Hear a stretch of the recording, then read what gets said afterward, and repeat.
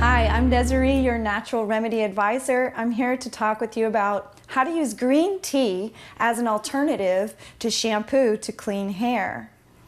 So, green tea is loaded with antioxidants, wonderful for our hair.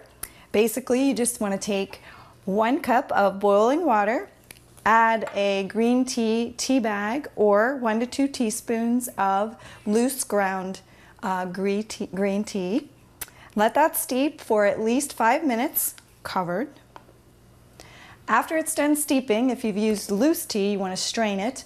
Otherwise, you can take the steeped tea and pour it into an empty shampoo bottle.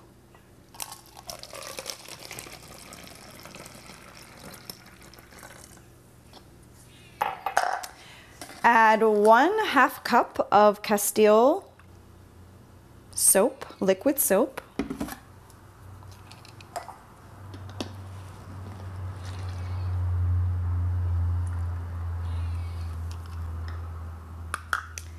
Shake gently before use. Now optionally you can add a tablespoon of baking soda or a few drops of jojoba oil.